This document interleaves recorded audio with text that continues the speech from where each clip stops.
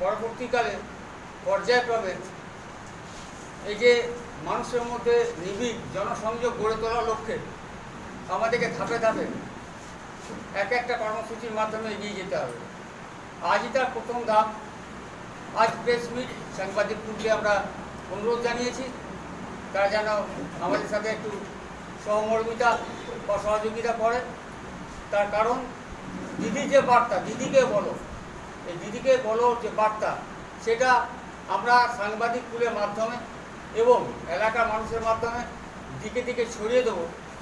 যদি আমাদের কোনো ভুলভ্রান্তি থাকে, আমরা শুধরে নেব।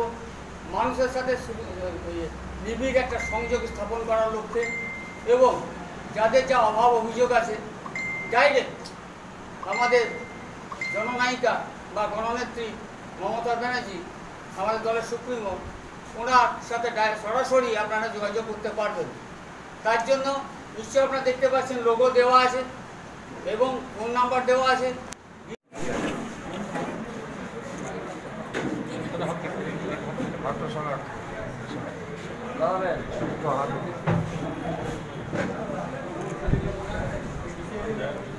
ধরো ধরো। কার্ডটা ধরো, ধরিয়ে। হ্যাঁ, কোন কি কোন কি হ্যাঁ আমাদের আইলে তো ঠিক আছে